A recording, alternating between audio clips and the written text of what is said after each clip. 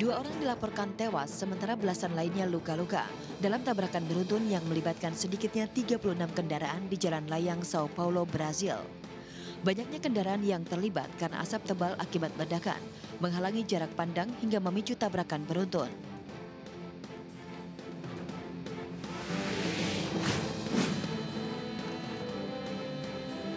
Dua ledakan terjadi di sebuah pabrik petrokimia di Crosby, Texas, Amerika Serikat sebagai dampak dari banjir bandang yang menggenangi pabrik. Banjir bandang sendiri dipicu badai Harvey yang menerjang Amerika Serikat sejak Jumat pekan lalu. It's on Friday that the Thursday flyover by two B-1 Pemerintah Cina menegaskan bahwa pihaknya tidak akan membiarkan perang pecah di semenanjung Korea. Hal ini ditegaskan setelah dua pesawat pembom Amerika Serikat dan dua jet tempur Korea Selatan terbang di semenanjung Korea.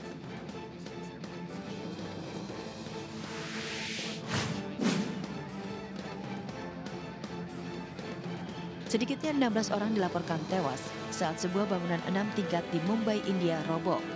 Ambruknya gedung perkantoran di kawasan padat penduduk ini diyakini akibat diguyur hujan deras.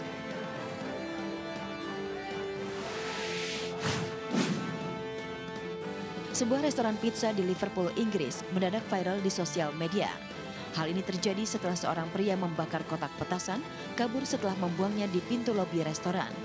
Akibatnya puluhan petasan pun meledak hingga membuat pegawai dan pengunjung restoran panik.